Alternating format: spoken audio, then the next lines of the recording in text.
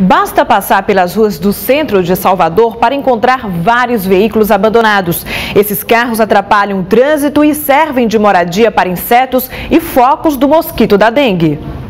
Só das ruas de Salvador já foram recolhidos neste ano 790 carros abandonados.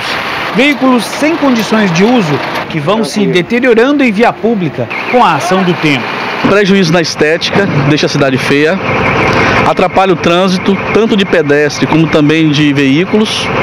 Além disso, atrapalha a saúde pública, é prejudicial porque junta-se ratos, animais peçonhentos, é, até mesmo foco de mosquito da dengue. Quando recolhidos, os carros ficam em um depósito por 60 dias, à disposição dos donos.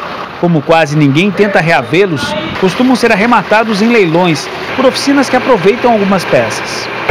No Brasil ainda não há uma política eficiente de incentivos para a reciclagem dos carros abandonados, enquanto na Europa 95% dos componentes são reutilizados, no Brasil o índice de reaproveitamento das peças não passa de 1,5%. Em Brasília, tramita no Congresso uma mudança no Plano Nacional de Resíduos Sólidos para obrigar as montadoras a providenciarem um destino final aos carros que fabricam.